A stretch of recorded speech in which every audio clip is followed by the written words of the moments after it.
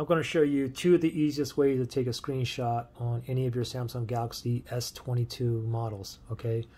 Now there's a lot of ways that you can take a uh, screenshot, but these are two easiest I think. First way is if you press the volume down and the power button, press both buttons at the same time and let go quickly. And that takes a screenshot. And you can edit it, you can crop it, you can share it down here.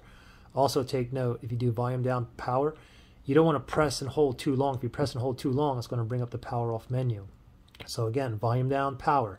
Just tap both buttons quickly, see that, and there you go. You can go and edit, crop, and whatnot. And every time you take a screenshot, it's going to go directly into your photos gallery. So if you go to your gallery here, let me go back here, and just make sure you tap on albums down here, and then you'll have a new folder called screenshots. This one here is camera. These are all my photos and videos I've taken.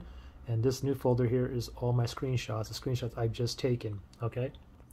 Now another way to take a screenshot, if you don't want to use the two buttons, what you can do is you can have like an assistant menu, like this little floaty thing right here. All I gotta do is tap on that and tap on screenshot. Boom, and it gets saved directly into my gallery, okay? How you activate this is very simple. Just go to your home screen and then we're gonna go to settings first. Go to your settings, mine is not there. Mine is right here, settings, I'm gonna tap on that. And then from here, I'm gonna scroll down to accessibility. So we're gonna go down, until we see accessibility right here. Let's tap on that. And then from here, we're going to tap on interaction and dexterity right here. Let's tap on that. And then we're going to toggle assistant menu on. Okay, so this is the assistant menu here. If I toggle it off, it disappears. If you toggle it on, assistant menu, pop that on, tap on allow down here, and this always stays in the foreground. So wherever you go, this is going to be here. And if you want a screenshot, tap on that, tap on screenshot, and there you go. Now I'm also going to show you how to do a scrolling screenshot, all right?